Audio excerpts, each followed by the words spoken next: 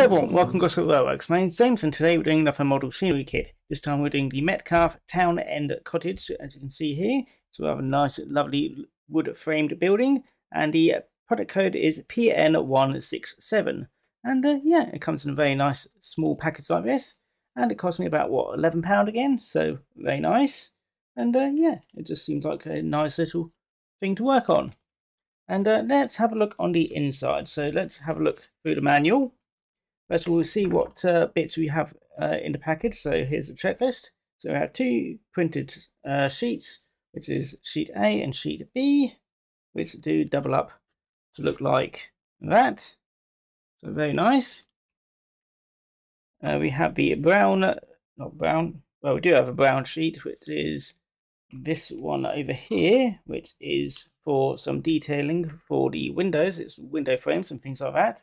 We also have a grey sheet, which is the uh, strengthening structural parts of the building. We also have a glazing sheet, which is this bit here. Luckily, not too many windows, which is always good for me.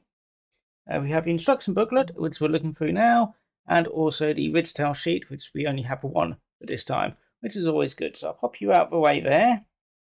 So I'll pop some of these uh, places. Right, and bits which we need for the kit. So let me just double check. Yep, so that's all we need a modelling knife. I've got my box cutter right here, which works just as well.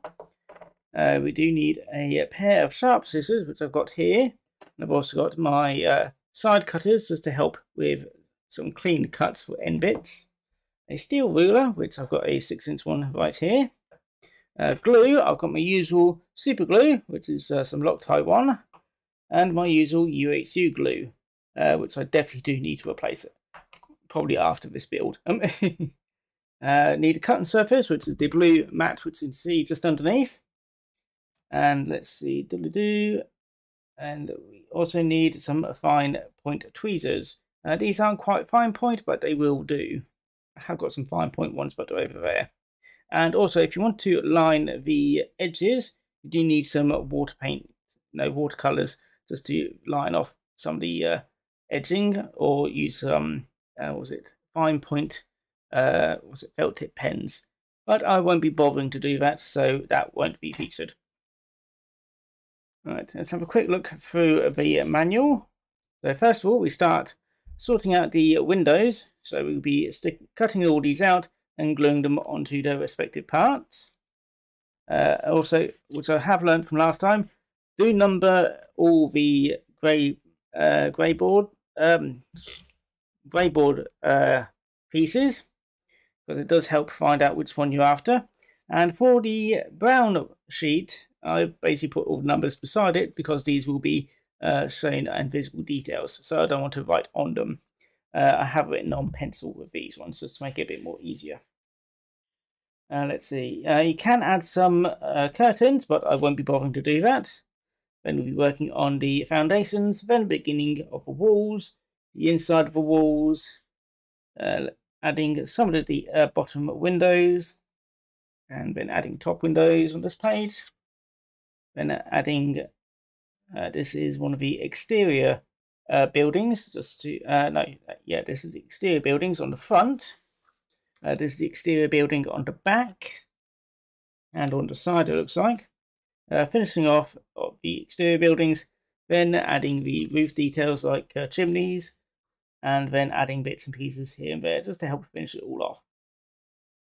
And uh, yeah, that's pretty much it really, and then we do chimney pots. So yes, that is pretty much it. And I'm going to probably take, normally takes me about between an hour and two hours to finish off one of these kits. So you can take longer if you want, uh, I may take a break in between because I've got a, um, something on my 3D printer going, but uh, otherwise it probably about two hours at most. So uh, yeah, it's a nice little afternoon project. So uh, yeah, I'm going to get started on gluing all these windows together, and uh, yeah, I'll probably find something to watch on uh, my computer while I'm doing it. So yeah, I'll see you in a bit.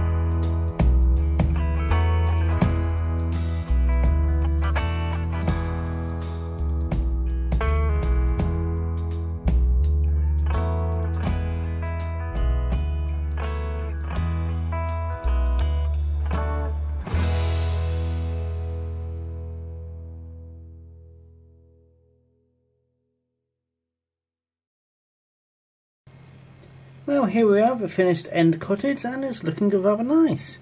Quite happy with it.